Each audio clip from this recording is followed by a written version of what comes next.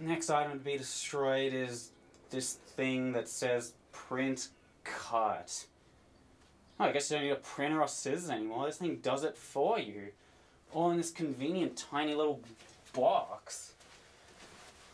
And it comes with the anti-slouch whip. Looks like it's slouching to me. It's a what? Print it! Why is it falling over like that? It's supposed to be working fine, printing and cutting and whatever it's supposed to do. Data transfer switch. Transfer the data. Man, too tough. Ah, too much metal in the vintage stuff.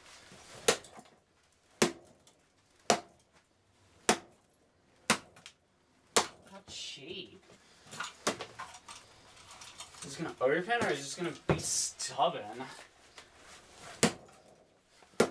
Spaghetti wires like that one from way back when. That a big no one remembers.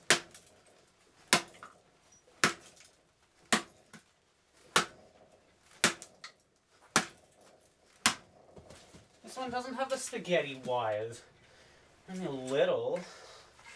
I can't even open it because the screws just somehow find a way to never break or let go. Stupid cable.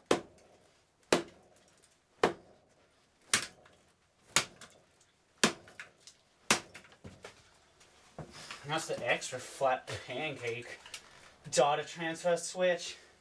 Oh, it looks finished.